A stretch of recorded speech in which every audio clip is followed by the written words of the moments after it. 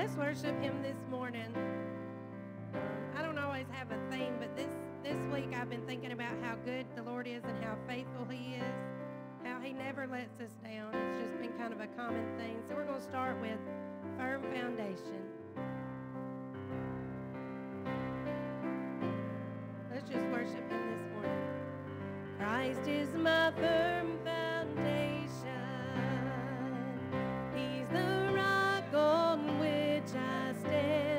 When everything around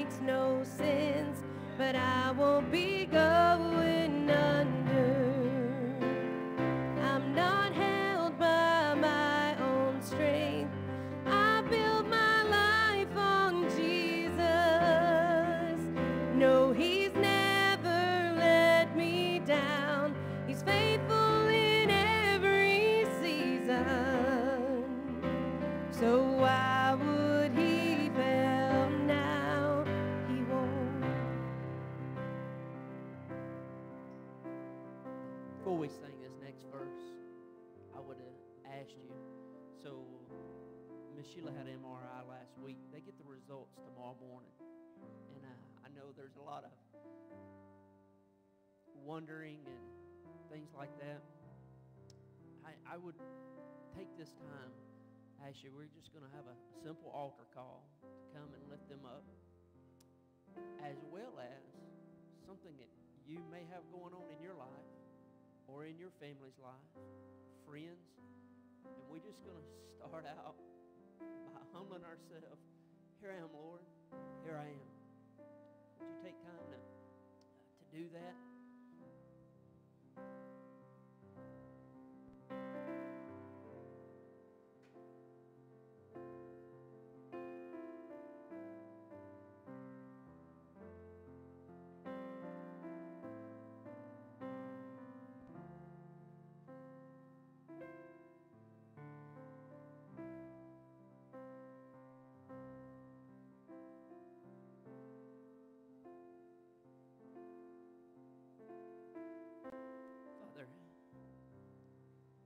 Come to you this morning.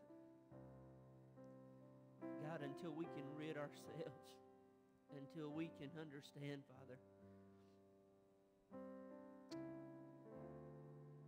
Father, it, this can't be about us. It's got to be about you. Until we can get down on our knees, Father, until we can, God, rid all our pride. God, we truly can't worship. But today, God, we approach your throne. I know part of worship is prayer because it recognizes who you are. It recognizes, God, you are the supreme healer, God. You are the great physician, God. You are the great restorer, Father. You're the one that sends revival to a broken heart, God, a downtrodden spirit. But right now, Father, we come as a faith family, God. As we gather around, we begin to cry out to you, God. We lift up our sister, Father. God, you know exactly what our family is walking through. God, you reminded us this week there when the disciples on the Sea of Galilee, God, and the storm arose. God, even in the mountain, your word says, he saw them. God, you see us.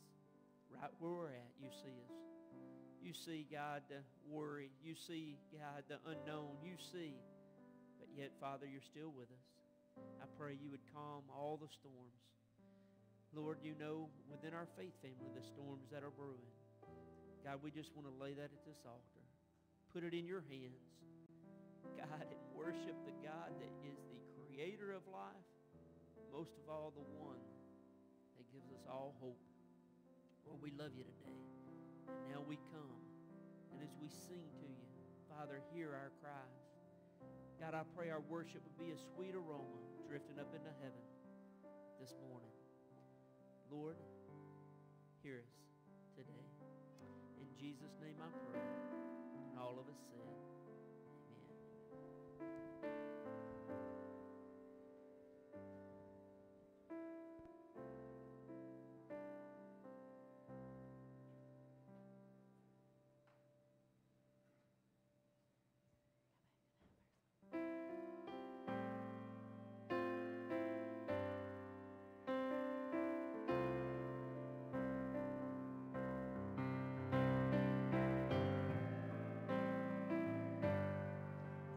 still got joy.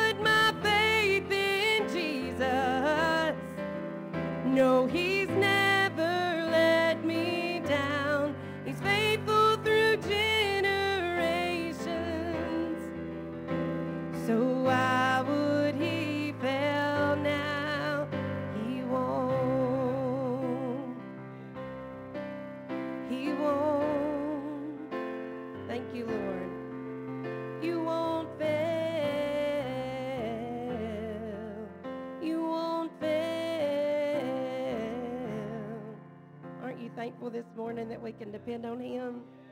When all the storms are around us, we can depend on His promises. This next song is semi new, but this song has just been in my heart and in my mind this week. It says, God of Abraham, you're the God of covenant, faithful promises. Time and time again, you have proven you'll do just what you said. Though the storms may come, the winds may blow, I'll remain steadfast and let my heart learn that when you speak a word, it will come to pass. Great is your faithfulness to me. You're the God of Abraham, the God of covenant, of faithful promises.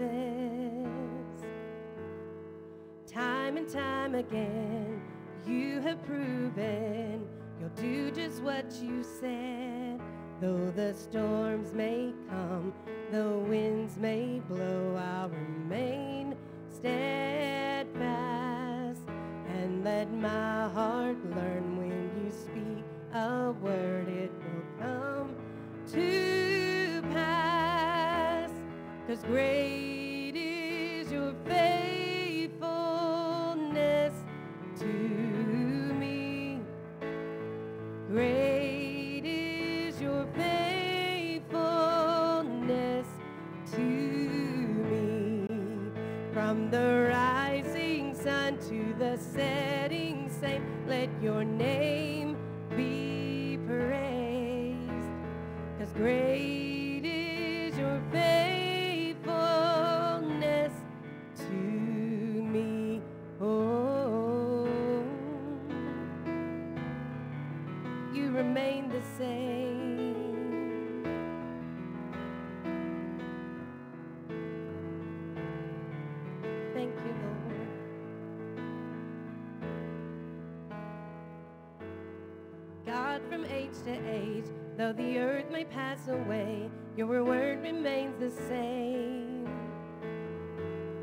Your history can prove there's nothing you can't do. You're faithful and true. Though the storms may come and the winds may blow,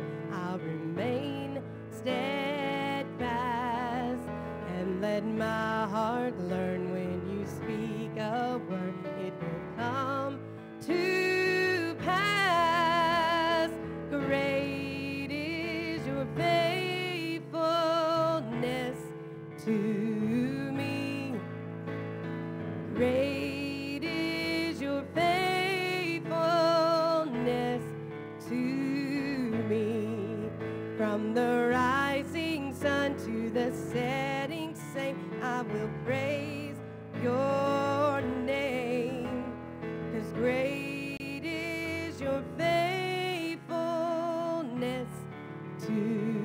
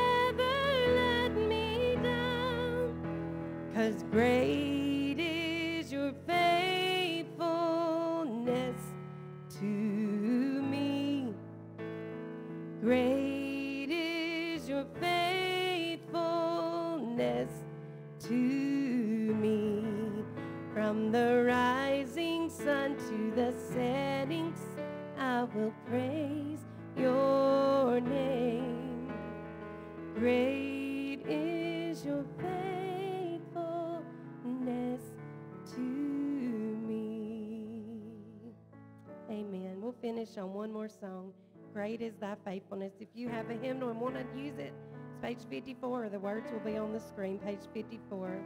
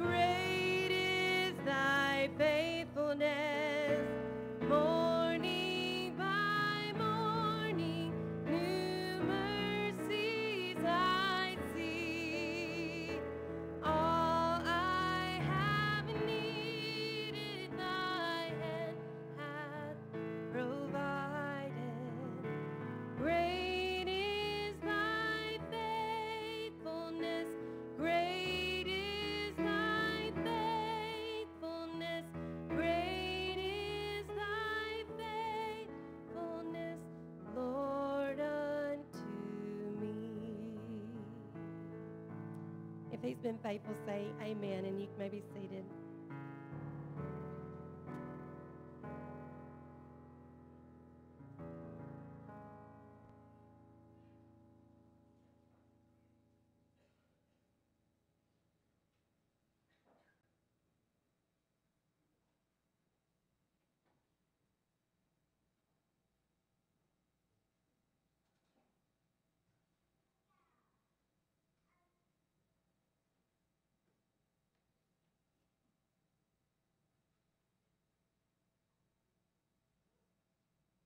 we didn't discuss our song choices beforehand. No, that's good. Because um, the song that I brought to sing today is God is Love, so it just kind of flows right into um, worshiping Him for um, being faithful, even though we don't deserve it. So I'm going to try to get through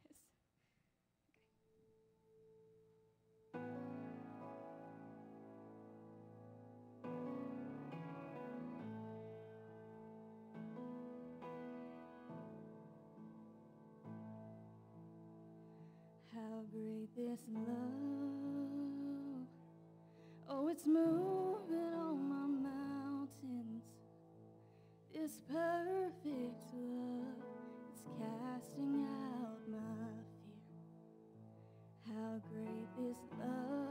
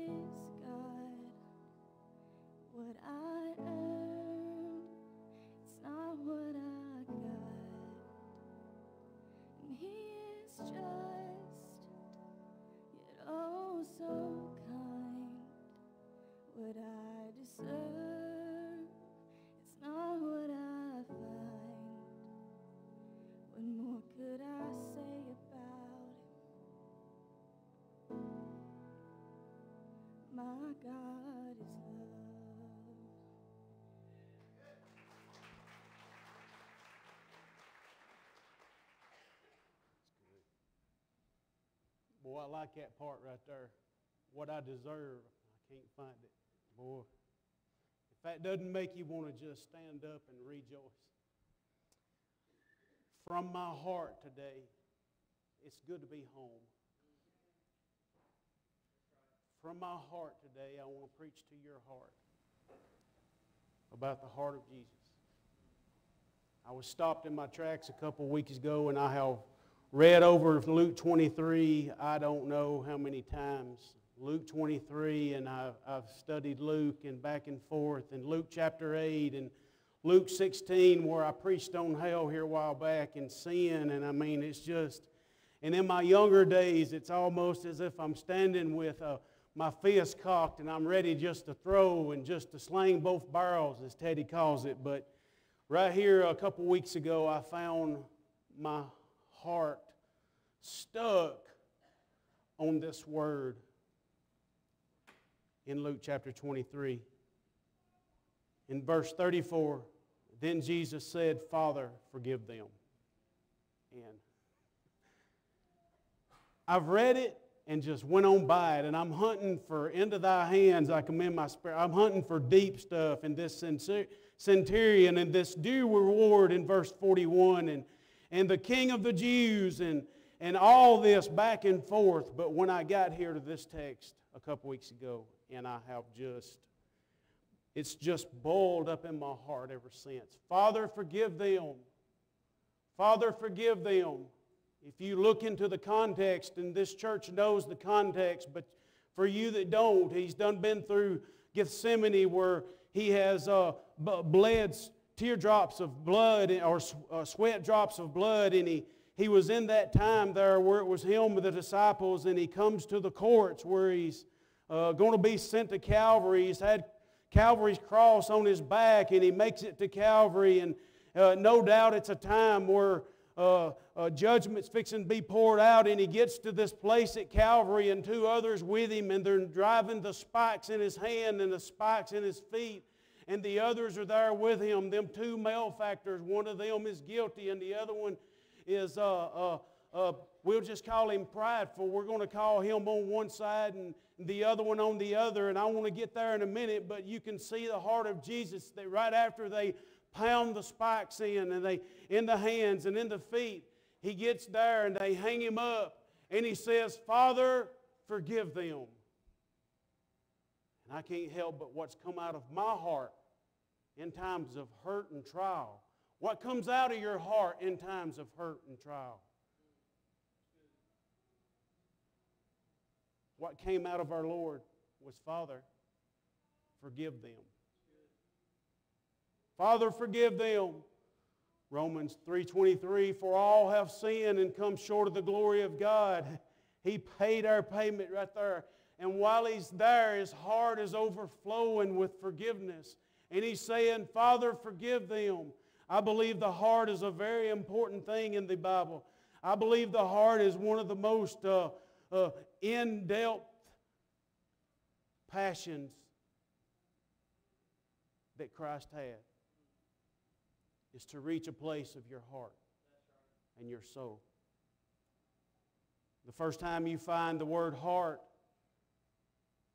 in Genesis 6, verse 5. And God saw the wickedness of man and great uh, was great in the earth, and that ever imagination of the thoughts of his heart was only evil continually. But then the very next verse, you see a grieved heart. It said there in Genesis 6 6, and it repented the Lord that he had made the uh, uh, made man and put him on earth, and it grieved him at his heart. This word heart is found 596 times in the Bible. I would say it's very important. Just thinking through and just seeing the heart that I've seen, I've seen all this. Uh, the greatest illustration of the heart in the Word of God, I've seen the pure heart, the understanding heart, the loving heart, the kind heart, the cheerful heart, the new heart the wise heart, a seeking heart, believing heart, a lowly heart, good heart, singleness of heart, cut to the heart, thankful heart, circumcised heart, spirit filled heart, heavy heart, repentant heart, sprinkled heart. And I like this one because it puts me in my place, a broken heart. your pastor was, your pastor's wife. I remember years ago, somebody asked Candy how to, the, how to explain uh, uh, uh, Ray's pastorship. And she said this. You remember this? He's got heart. So, what comes out of the heart during the times of struggle? You're here today, and I, I, I'm we. Every believer here is we. We all have our struggles. What will come out of your heart? What will come out of your heart? If you're standing on reading God's Word, I want to show you what come out of Jesus' heart. Three things God showed me right here. Luke chapter 24, we'll start at verse 32. And there were also two malefactors, uh, also with him two malefactors, uh, led to be put to death. And when they were come to the place which was called Calvary, uh, the place of the skull, they, uh, there they crucified him and the malefactors, one on one on, right, uh, on the right side and the other on the left, and said, Jesus, then said Jesus, Father, forgive them, for they know not what they do. And they parted his raiment and cast lots. And the people stood beholding, and the rulers also with him derided him. We'll be there in a minute. Saying, He saved others, let him save himself if he be the Christ, the chosen of, of God. And the soldiers also mocked him, coming to him, offering him vinegar, and saying, If thou be the king of the Jews, save thyself. And a subscription was written over him in letters of Greek and, and Latin and Hebrew. This is the king of the Jews. One of the malefactors which hanged on him railed on him, saying, If thou be the Christ, save thyself and us. And the other answered, rebuking him, saying, Dost not thou fear God, seeing thou under the same con- condemnation? For we indeed justly, we receive due reward of our deeds, but this man hath done nothing amiss. And he said unto Jesus, Lord, remember me when thou comest into thy kingdom. And Jesus said unto him, Truly, verily, I say unto thee this day, today thou shalt be with me in paradise. Don't have no big rail to hell probing question, anything like that today. I just want to preach the heart of Jesus. Let us pray together. Father, it seems as if I'm backed up in a corner. It seems as if the church is backed up in a corner. God, I pray you'd energize the people, energize the leadership of this church. Energize our spirits, Father. And energize our hearts that we would be about this business of forgiveness. It's something the world ain't getting. But let us lead them to the truth because you are the truth, the way, the truth, and the life. It only comes through forgiveness.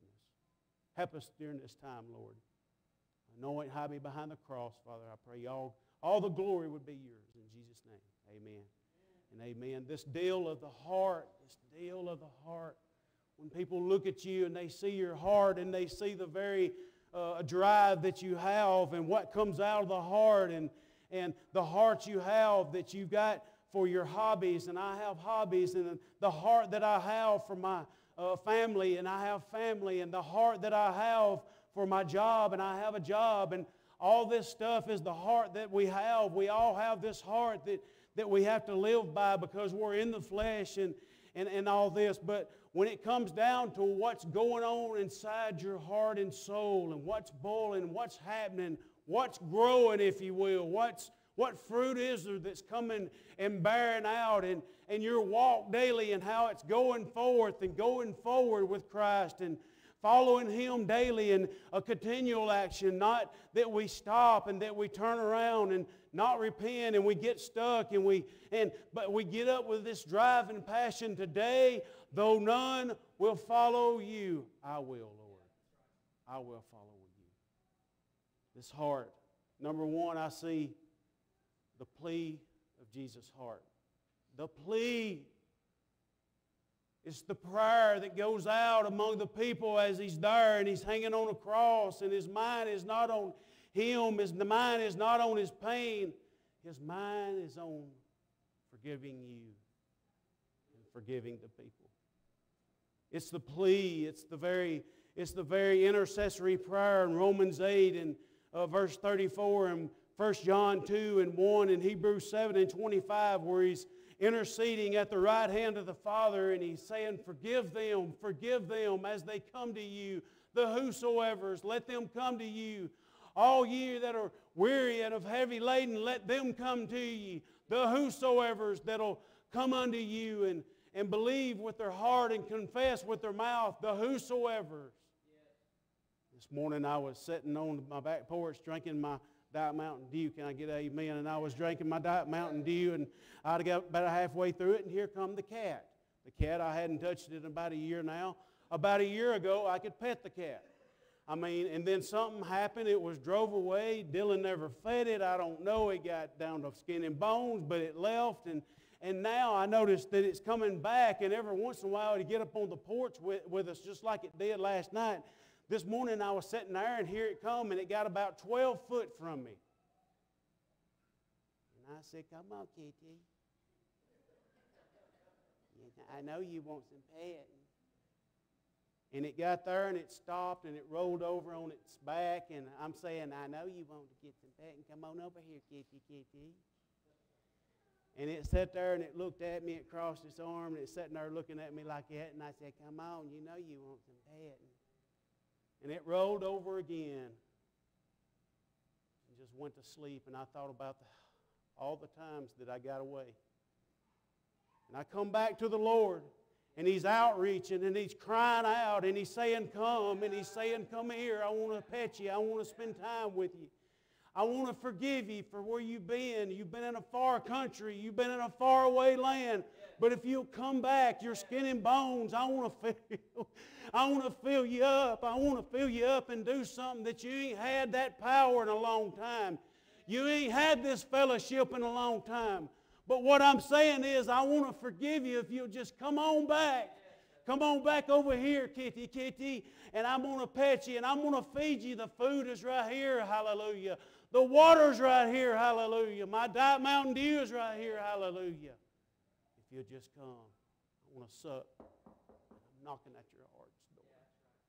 And Jesus is saying the whole time, Father, forgive them. Forgive them, for they know not what they do.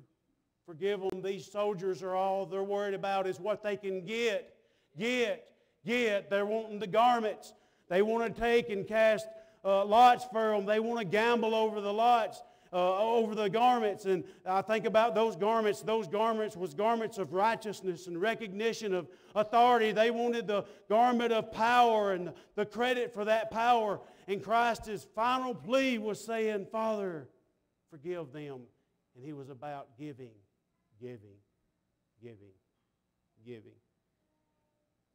The greatest illustration of this in the Bible is Jacob and Esau. for, a hundred, for over a hundred years. They've got this unforgiveness between them. Y'all know the story. Jacob tricks Isaac out of the, the birthright and, and, and Esau, and here they go, and they're back and forth, and they're at each other, and they're, uh, they're ready to kill each other, especially Esau. And, and Jacob's just out running, and he's out running. Hey, watch this. He's out running. He's out running, and Esau's gonna, gonna get his revenge, and they live a hundred years. And you, you find this old story in Genesis 32, and, and, and Jacob's getting honest with himself, and he's coming, and I think conviction is weighing in, and he's been alone. It says there in verse 5, I have oxen and asses and flocks and manservants and woman servants and all this stuff. And moreover, behold, thy servant Jacob is uh, behind thee, for he said, I will appease thee with the present and go before thee. And what he's doing is sending everything that he has in front of him and he's laying it down at Esau's feet and he's saying, All that mine is yours. And he gets to a certain point there in the next chapter, chapter where he's wrestling with God. And you remember that story, and Brother Andy's preached it and Ray's preached it about touching the hollow of his leg and, and, uh, uh, and the limp that come because of that. And but you find there in the next few verses in Genesis 33, it said, And Jacob lifted up his eyes and looked, and behold, Esau came and with him 400 men. And he divided the children unto Leah and Rachel and unto the handmaids, and he put the handmaids and the children foremost, and Leah right there in front, and he's saying, Here you go. And in verse 4 it says, Esau ran to meet him and embraced him and fell on his neck and kissed him and wept. And here's what the story is it's arms wide open. It's been a hundred years, it's been a long time. And they're coming together and they're hugging and they're forgiving and they're getting to this place where the past is the past. We're wanting something new. And would you forgive me? Would you forgive me? I can just see the arms of Jacob and Esau wide open. And I can see the heart of Jesus saying, That's going to be me on the cross one day. To you, and to you, and to you, and to you. It was his plea, Father, forgive them. Father. Father, forgive them. Father, forgive them. I see number two. I see the plea. I see the passion of Jesus. Oh, it was just passion. His passion to be crucified, his passion to endure whatever, a king for the people. He's the only king that's ever died for his people. Amen. He's the only one that would come from heaven to earth and live a sinless, perfect life in our place. And, and what they were singing a while ago about my reward, I don't see it. It's, it's, he done, he's done died for it. But these thieves know one of them. He knows he's guilty, but he still rejects. And the passion of Jesus is that he would forgive. I see this three crosses one on this side, one on this side. One is a rejecting thief, one is a recepting thief. One cross is the cross of rejection, one cross is the cross of reception. But right in the middle, I see this the cross of redemption. Amen. Come on, youth. Come on, youth. Y'all can help us preach here. Y'all got victory. I said in the middle was the cross of redemption. Amen. The cross of redemption where he would redeem his people. But this rejection, he said there in verse 35, uh, uh, all the rejection that came, uh, the people stood beholding and they rejected him. If you be the Christ, if you be the chosen of God. In verse 37, and saying, If thou be the king of the Jews, save thyself. In verse 39, and one of the malefactors which hanged on him railed on him, saying, If thou be the Christ, save thyself. I was thinking about this and I was like, now where have I heard this terminology before? If thou, if thou, if thou. So I got to looking, I find it in Luke chapter 4.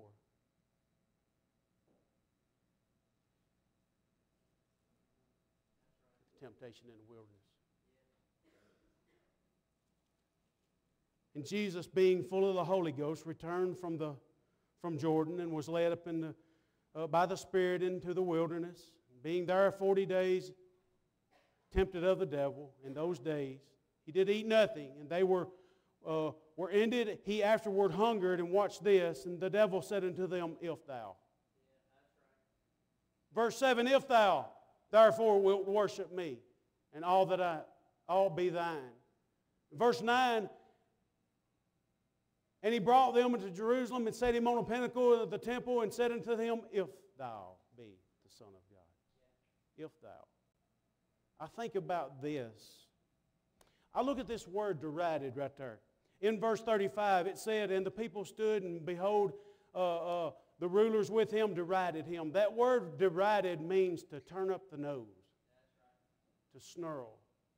To snarl the nose, to turn up the nose. Where's your nose at? If thou. The nose is the picture of the heart. What's in the heart will come out through the nose. If it's humble, your nose will be down.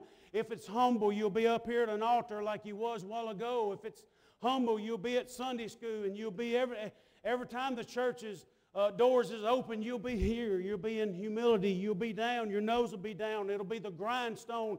It'll be the sacrifice. It'll be coming to worship Him with your service, and it'll be coming unto Him and just letting Him fill you with His purpose and power in your life. But if your nose is up, you're saying, if you'll bless me, if I'll get some credit, if I'll get some recognition, if it's about me if I'll get mine. Me. Me, mine. Mm. I was talking to Stan last week. He has turned to be a commentator and an inspiration in my life. And Stan said this. He said, I can't help it. Sometimes during worship and praise, my heart melts. Stan said this. When my heart melts, comes out of my eyes.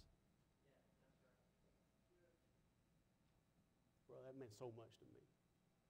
And I said, Stan, your, your nose is down. I was studying this verse. Your nose is down. Let me ask you, is, is your nose down? Hey, is your nose down to the Savior? Is your nose down to the Word? Is your nose down when you're telling people about Jesus? There's a cause for that. There's a, there, there's, a, uh, there's a reason why your nose is down. You're teaching people humility before God, not to be prideful about me, about mine. She knows down. Some of you here are lost saying, if your grace is sufficient for my sin, if you, if your blood will cover all my sin, if your mercies are new every day, if uh, if you be uh, with me every step of the way, if you're big enough to defeat all my battles, if every word is true, if you're holy enough to forgive all of my sin. If, if, if the passion of Christ was just to forgive, we'll go forward together. Just forgive and go forward together. If, if, if. I see the passion the plea, the passion. Number three, the pursuit. Even on the cross, he's still pursuing lost sinners. He's still pursuing. He's still in pursuit. He's still in pursuit. He's still pursuing lost sinners here right now. He's still pursuing you. He's still wanting you to be saved. He still wants to come in fellowship. He still wants to come he don't want you to go to that place of hell. He wants to have you in the family of God, in the, as, the, as the bride of the church. He still wants uh, to forgive you. He's still pursuing you. That's the reason you feel that conviction, so he can bring you out of that lost situation. He's still pursuing you every step of the way. He's leaving the 99 for the one. He's still going. He's still pursuing. He's still pursuing. He's still pursuing. I see this the pursuit. And this one, that, uh, the cross of uh, reception, this receiving uh, thief that said, Lord, he got heaven's attention with that. Lord. Lord, remember me when thou comest to thy kingdom.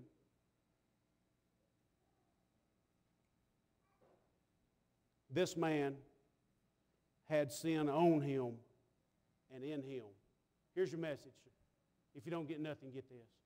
This man had sin on him and in him. He's the rejecting. This man had sin in him, but not on him. This man in the middle had sin, watch this, on him, but not in him. Isaiah chapter 53, verse 5, it said, But he was wounded for our transgression, he was bruised for our iniquities. The chastisement of our peace was laid upon him, and with his stripes we are healed. We all, like sheep, have gone astray. We have turned to our own way. But the Lord has laid on him, on him, the iniquity of us all. He still pursuing you. All your judgment laid on Jesus. All the wrath laid on Jesus. One commentator said it like this The three hours of darkness is so that the world would have no part in the judgment carried out on the Jesus, on his son Jesus. Because he didn't want you to see it. He's still pursuing you. He's still pursuing you. Who's here today that he's absolutely knocking on your heart's door to be saved? Who's here today that's been away in that faraway country? You hadn't had fellowship with him. I had a man just a couple weeks ago say, Well, when I went to church, I had, man, I just felt so good. Uh, Sunday night and Monday, man, Tuesday, man, I was struggling. And then Wednesday, I was going to church and I'd be good Wednesday and Thursday, but Friday, man, Saturday, I was struggling. Are you out of fellowship? I'm talking about that First John chapter 1 fellowship where you're so close one time and then you're away. He's still knocking. He's still pursuing. He's, his plea is that he would, he would forgive you and the Father would forgive you. His passion would that he would forgive you and you would be new and renewed and with your nose down and humbled coming to him. And then number three, oh me, his pursuit. He's still pursuing me every day when he knocks on my heart. Every day, he's still pursuing. Is he pursuing you? Let's bow our heads. Father, Lord, you gave the message. I pray you give the increase. Lord, have your way during this time of invitation, Father. Thank you for your goodness, the spirit that's already moved, Lord. Pray now that we would turn back to you with our hearts bowed, noses down, seeking your passion in our life. Let us go about forgiving. Let, it make let, it, let us make it the business of your kingdom, forgiving others and leading them to you in a deeper way, Father. We love you and praise you. Maybe today, God spoke to your heart. You've been away. Struggles, battles, I can honestly say this. It seems like when I get past one battle, there's another battle there. That's the picture of the Lord Jesus. That's the absolute picture of his life. Will you say, if thou? Or will you say, Lord, you are? You are my bread. You are my water. You are my sunshine. You are my joy. You are my plea. You are my passion. You are my pursuit. Maybe you want to come spend time at this altar just praying. We're living in a day where the devil is working overtime. Don't let him turn you away. Don't believe his lies. If thou, if thou, if thou. If you're here you're lost, you've heard the message through song already. He is love. he will never fail you. He won't. He won't. He won't. He won't never fail you. Please come and accept Jesus as Savior. Brother Ray, be here. Just grab somebody. Don't leave this place lost today. This might be the last service of the church age. Only trust Him. Only trust Him. Let's stand together. Only trust Him. Come, every soul, by sin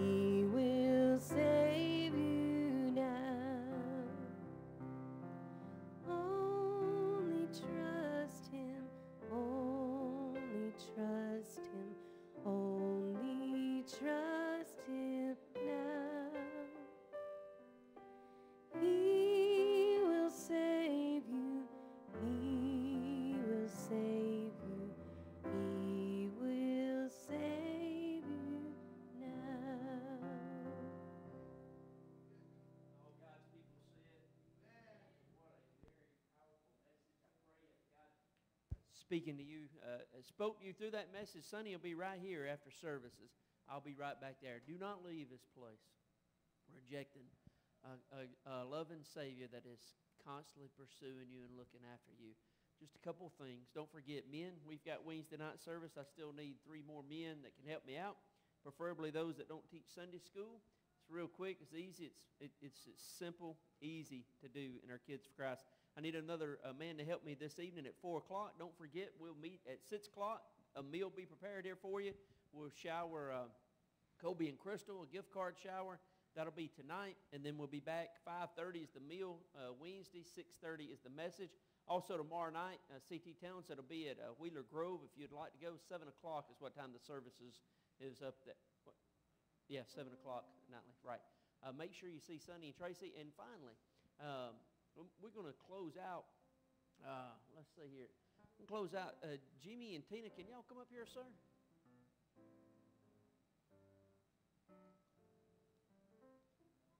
Sort of keep things. Uh, yeah, there we go. So real quick, yeah, yeah, you come on there, partner. Um, I'll get Sonny. I'll get you to. I'll, just a. Hey, uh, church, remember Jimmy and Tina. Uh, so God has give them just a real, uh, well, not a real small, is it, Tina? Give them a big mission. Uh, put these children in their life, maybe temporary, whatever.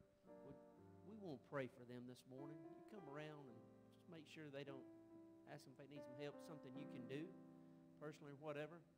You know, they'll talk to you, whatever, or, or let you know. But I, I just want to pray over them because uh, everybody in here, you got four children today, you can imagine what your house would look like, right? So uh, let's hold them up. Let me get here to the back. Sonny, you here to pray over them, and that'll be our benediction. I'll see you back tonight at 6 o'clock, church.